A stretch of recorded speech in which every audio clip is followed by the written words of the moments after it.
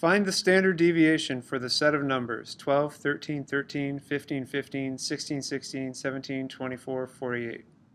I'm going to use a calculator. So this is a TI-84.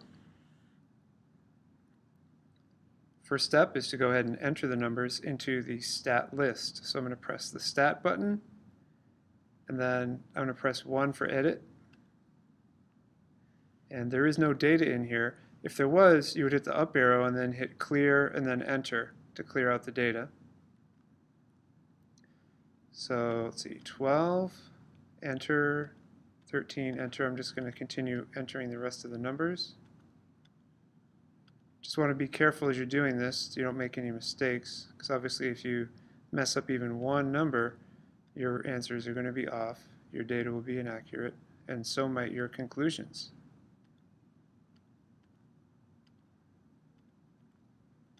And sometimes it's a good idea to double check. I'll just go through real quick and compare the lists, make sure I got everything.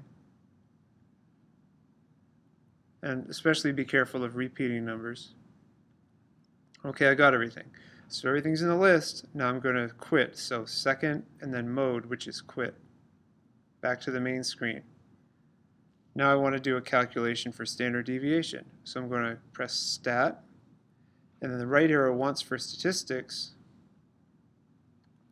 and the right arrow once for calc, and then I want the one variable stats. So I'm just going to press enter right here because it's already selected, and then enter one more time. Okay, let's take a look. Here's the mean of the data, the x bar, and the standard deviation is down here. It's 10.2.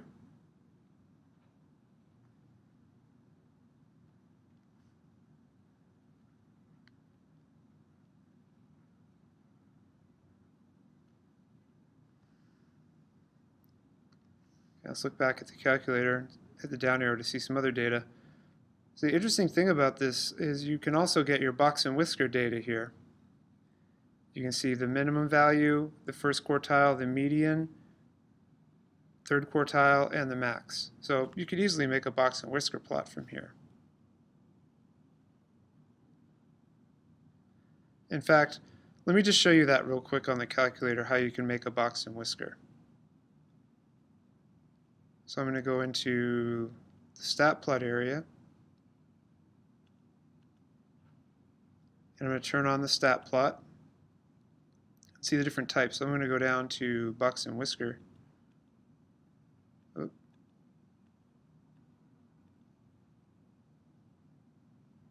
Just like that.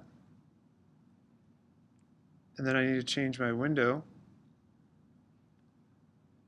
See the highest value is 48, so I'm going to put 50. Then I'll just put 0 for the min. The y values don't matter for the box and whisker because you're just using one list. It'll just be the x values. So let's take a look at the graph.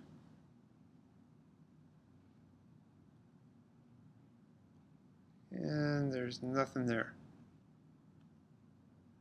Let me clear out these functions.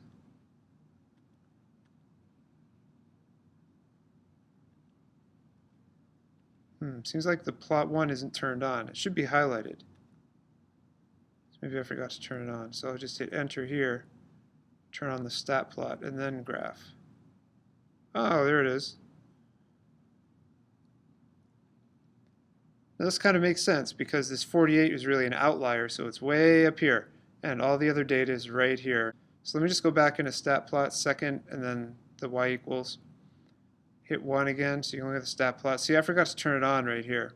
I picked the type, but I forgot to turn on the plot. And that's another important point. If you're having issues with your graph, you're getting weird errors, or you see data you don't want, look and see if a stat plot's turned on. You can easily go up, turn it off, and then you're good to go.